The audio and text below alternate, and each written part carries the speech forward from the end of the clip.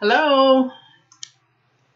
Happy to see everybody here today. Uh, I recognize that you have so many choices, and so I am just happy that the Lord brought you our way. Let us pray.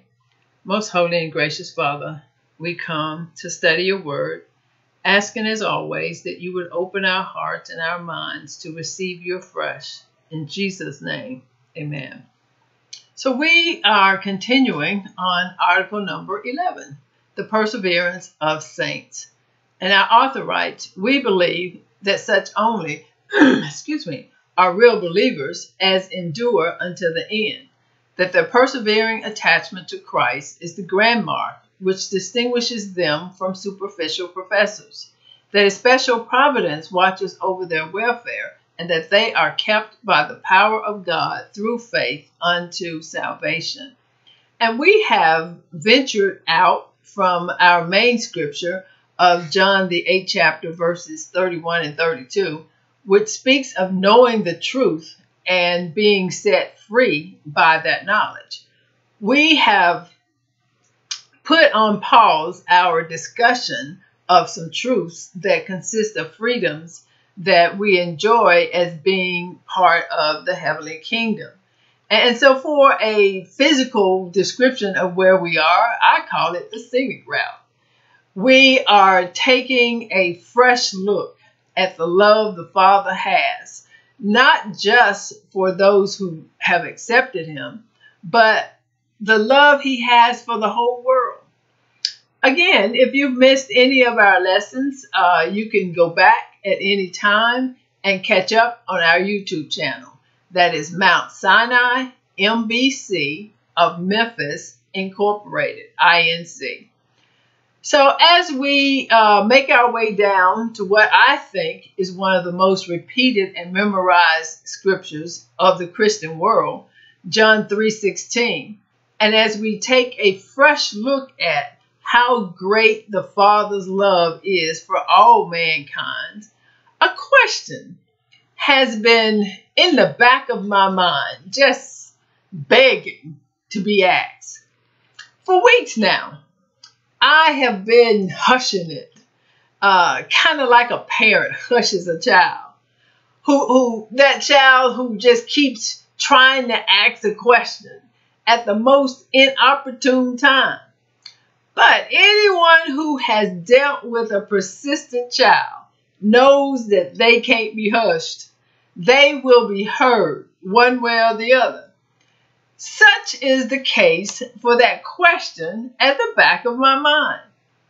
Each week, it has gotten closer to the forefront until finally, one day, without warning, it just burst out. Why a Pharisee? Why would Jesus choose a Pharisee to give the whole plan of salvation in a nutshell. A Pharisee. Why would God choose the most arrogant, self centered, hypocritical of that era to receive a statement of fact that would impact the whole world? Why not choose one of his disciples, one of his followers, Peter, James, or John, who was always right there at hand? To me, and in my mind, John had to have been somewhere around to hear the conversation uh, in order to write about it, since it's only recorded in the Gospel of John. Why would Jesus choose a Pharisee to receive such a profound and impactful word? It, it, it, it is only given to Nicodemus, a Pharisee. This is the part of the scenic route where you see something so amazing that you stop the car, get out, and just ponder the view in total amazement. Why Nicodemus, a Pharisee, a ruler of the Jews? It has to be significant because John pointed out. He could have just said, A man came to Jesus one night there are occasions in the Bible where a person is, is talked about, but we're not given a name. One such instance is Matthew, the eighth chapter, verse 1.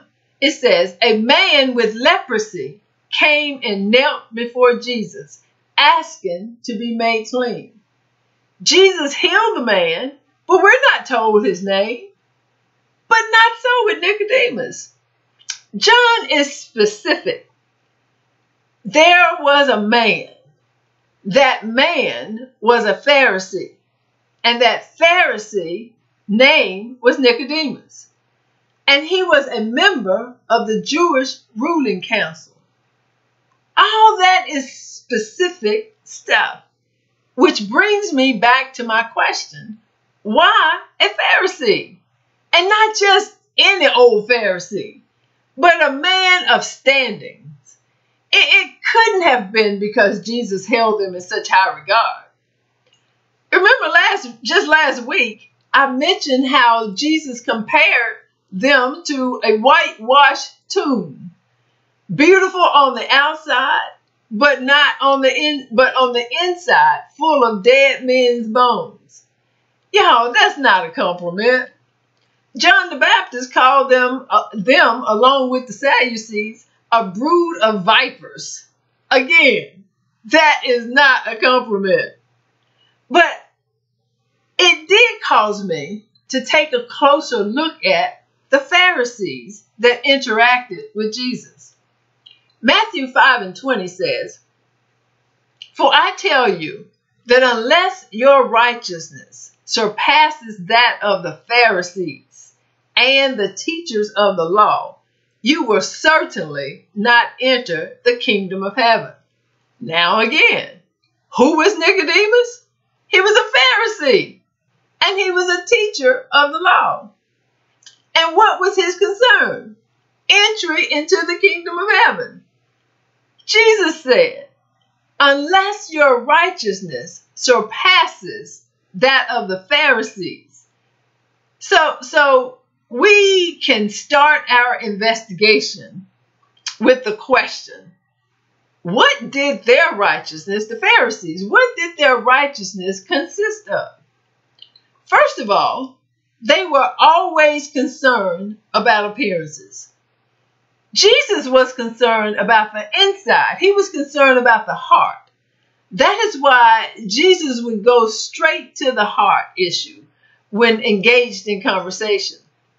The Pharisees and teachers of the law would follow Jesus around looking to see if he would break a law or or one of their man-made rules. Rules that they used to measure how righteous a person was. Everything that they considered righteous was the exact opposite of what Jesus would do. Jesus called Matthew, who was a tax collector, to be one of his disciples while he was on the job collecting taxes and cheating folk. I, I should point out that tax collectors were considered to be traitors because they worked for the Roman government and extorted money from their fellow Jews, making themselves rich. Jesus was having dinner at Matthew's house with some of Matthew's friends, tax collectors and sinners. Those were his friends, those were his BFFs because nobody else would be seen with them, with him or with them. Of course, the, the Pharisees were there looking to see what charges they could bring against Jesus. So they asked Jesus' disciples, Why does he eat with such people? To them, that would put a red scar on his righteousness. Remember, they kept themselves pure by not associating with such people. Right about now, we can turn the mirror toward us and ask ourselves, who is it that we consider to be unclean? And, and we go out of our way to avoid being associated with them. Who are the people we don't want living next door to us or even in our neighborhood? Of course, you know, we, we can put on our righteous hat and, and, and give them something, and, and either to be seen or to inwardly affirm our righteousness. You ever notice when folk decide to show how righteous they are, they leave their neighborhood and find one of the poorest ones to witness to or try to help. They, they, they leave their neighborhood and go find a, some poor folk to, to witness to or to try and help. And, and then they will take pictures. You know, we're in this social media age. They will take pictures and post it on social media. Stuff like hashtag, look at us witnessing to these poor folk. The question that always comes to my mind is can't you find unsaved folk in your own neighborhood? Have you tried next door? Have you tried across the street? Why do we assume that just because a person is poor, they're not saved? Appearances were most important to the Pharisees. Jesus said in Matthew 23, verse 5 through 7, speaking of the Pharisees, he says, Everything they do is done for men to see. They make their phylacteries wide and the tassels on their garments long. They love the place of honor at banquets and the most important seat in the synagogue. They love to be greeted in the marketplaces and to have men call them rabbi. It, it, if it were not for the phylacteries, we could easily say this was written in the 21st century. But give it another look. Think about what it says. They make their phylacteries wide and tassels on their garments long. Why do they do this? To be seen of men. Phylacteries were leather boxes containing scripture that were worn by men during prayer time on the forehead or their arm. The Pharisees and teachers of the law made theirs to be elaborate. Uh, it, it was an elaborate showpiece to look more righteous. Can you imagine this thing on the top of their head, big? Uh, so the takeaway is that they are dressing to appear righteous. Think about pre COVID days when we actually went to church. I'll step out on a limb and say that most of us spent more time physically dressing the body than preparing the heart for worship. Just like the Pharisees, we hold appearances in high esteem. We would rather everybody think we are okay than to actually be okay. We, we go through great lengths to appear as something other than what we are. It's like going for a family photo and and the mother is the only one that actually wants to take the picture. She's determined that they will look like the happy family no matter what it takes. Everybody arrives at the studio mad, grumpy, with attitudes. And, but when it's time to smile, they put all their discontentment on hold and smile, knowing that that's the only way to leave sooner than later. The picture shows a happy family, but it's fake. It's just for appearances. You ever notice that the only pictures that are posted to social media are happy ones? The ones that make our lives seem exciting and adventurous. Hashtag look at me enjoying life. Nobody wants to see your real self, and nobody wants to put their real self out there. You wouldn't dare put the real you out there, all open for the world to see.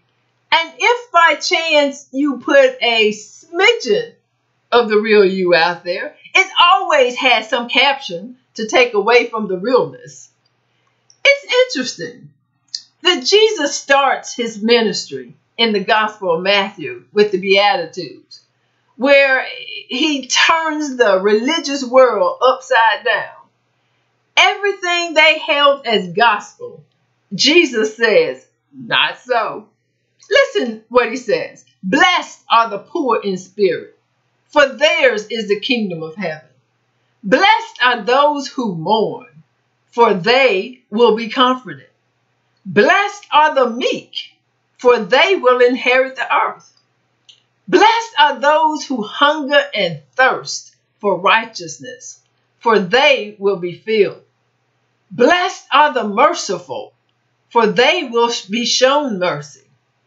Blessed are the pure in heart, for they shall see God.